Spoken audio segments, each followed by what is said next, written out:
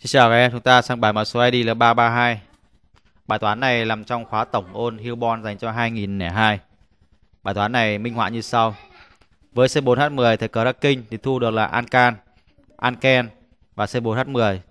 Lý do thầy xét bên này là bởi vì có lý do đó là dùng quan hệ mol. Số mol của ancan sinh ra luôn bằng số mol của anken sinh ra và bằng số mol của C4H10 phản ứng.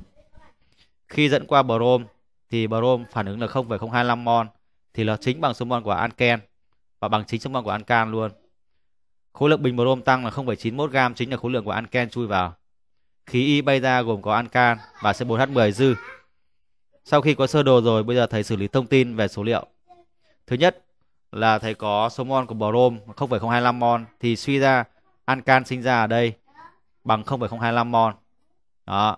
Thứ hai, người ta cho các em là gì? Thể tích của Y bay ra bằng 54, 545% thể tích của x tức là 54,545% là của hỗn hợp này bay ra. Thế thì còn phần còn lại mất đi là do anken chui vào và nó chiếm là 100 trừ 54,545%. Từ tỷ lệ này thì tính được ngay được số mol của hỗn hợp Y bay ra là 0,03 mol. Y bay ra là 0,03 mol thì Y của thầy chính là số mol C4H10 ban đầu. Lý do rất đơn giản thôi. C4H10 ban đầu bằng C4H10 phản ứng phản ứng chính bằng hai này luôn. Quan hệ mol cộng với số 410 dư. Như vậy kết quả là 0,03 mol chính là tổng mol của hỗn hợp y này. Chính là C4H10 phản ứng luôn. Thầy dùng bảo toàn khối lượng. Thầy có m của C4H10 ban đầu bằng m của x. Và để tìm m của y thì thầy lấy m của C4H10 trừ đi 0,91 gam là khối lượng của anken mất đi thì bằng 0,83 gam hỗn hợp này. Hỗn hợp y là của thầy có khối lượng có số mol và nó toàn là ancan cả. Khi đó thầy chọn cách đó là dồn chất. Dồn Y để đốt cháy. Thầy có Y là 0,03 mol thầy dồn thành là anken và hydro. Tức là cắt thằng này ra thành C2 anken này là CH2 và H2. Thằng này tương tự như vậy, C2H4 và H2. Thằng C4H10 tách thành C4H8 và H2 thì toàn bộ anken thầy dồn thành CH2. H2 của thầy tách ra ngoài của thầy chính bằng số mol hỗn hợp này bằng 0,03 mol tổng khối lượng vẫn giữ nguyên là 0,83 thế này 0,83 trừ khối lượng hydro này.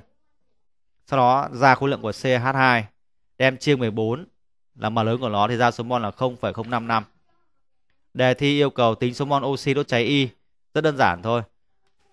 Với CH2 này thì oxy bằng 1,5 lần. Với hydro đốt cháy thì oxy bằng 1 phần 2 vậy 0,5 luôn.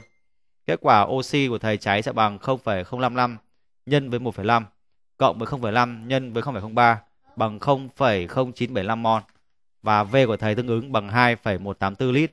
Đáp án thì có là A. Trong cái bài toán này các em phải thành thạo thầy hai vấn đề. Vấn đề số 1 là vấn đề quan hệ mol. C4H10 phản ứng bằng tổng số mol ancan sinh ra bằng tổng số mol anken sinh ra. Đó. Thứ hai là vấn đề về dồn chất. Đây là hỗn hợp toàn bộ là ancan cả. Vì thế thầy dồn thành CH2 và H2 số mol hydro là 0,03 các em phải thành thạo vấn đề này. Thứ ba nếu như muốn nhanh nữa các em có thể sử dụng nhớ luôn cho thầy hệ số của oxy khi đốt cháy CH2 và hydro với CH2 thì oxy bằng 1,5 lần rất đơn giản thôi. Thầy có x cộng y trên 4 trừ z trên 2 là số mol số hệ số cân bằng của oxy với mọi hợp chất chứa carbon hydro oxy như vậy thầy thầy có là 1 cộng với 2 phần 4 tức là bằng 1,5 với hydro của thầy thì bằng y trên 4 tức là 2 phần 4 tức là bằng 0,5 quá trình nhớ như này thì làm cho các em sẽ ngắn thời gian đi tiết kiệm được rất nhiều thời gian để chúng ta có thể là xử lý bài tập nhanh gọn.